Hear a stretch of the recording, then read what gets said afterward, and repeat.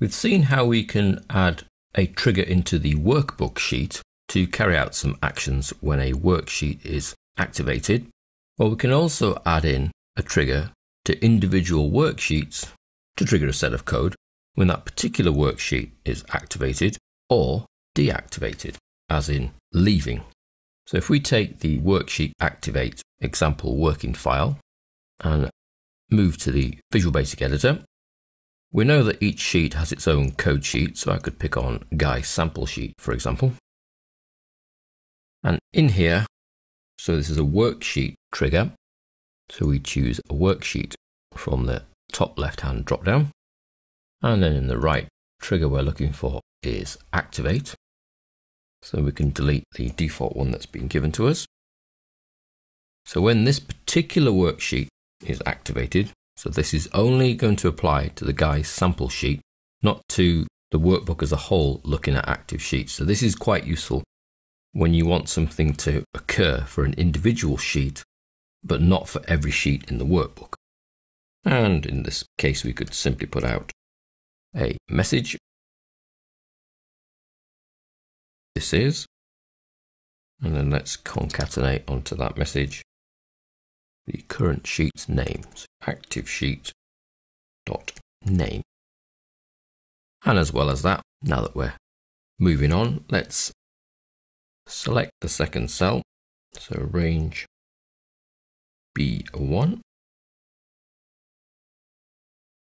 and put the value in there of today's date and then move whoever's entered the sheet into A2 ready to start using the file.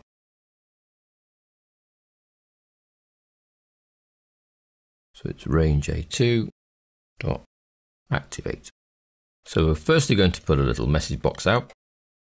Then we're going to place today's date in B1 and then we're going to select A2. So we go back to Excel. The minute this sheet becomes the active sheet, so I'll need to click away and then come back to it. We get this is Guy sample sheet. So that's the name of the sheet. OK. Put today's date in B1 and then moves us down to A2, ready to start entering some data. So this is individual sheet specific. If I go to Mike data, I get nothing. I've not added the workbook trigger for active worksheet. I've added a worksheet trigger. There we are. Fired it again. So that's in the Visual Basic. In the code sheet for the particular sheet you want to add this to. And we've chosen it from the drop down, but effectively it's worksheet underscore activate. And then we can carry out what we want to carry out. Now the reverse of that is when you leave the sheet that's worksheet deactivate. And we can use that to carry out, again, a series of actions. But in our case, we'll put a nice message out that says thank you.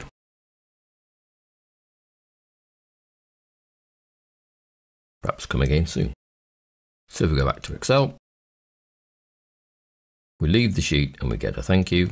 We go into the sheet, we get a this is today's date and move us into A2. But every time we leave, regardless of where we go, we get the thank you. So that's the worksheet activate and the worksheet deactivate. Useful for specific actions on specific worksheets. If you need the deactivation or the activation of, of every worksheet to effectively fire the same commands, then we use the previous trigger which goes in the workbook sheet. This is just for individual worksheets where you want to add in different commands dependent on what you're trying to achieve.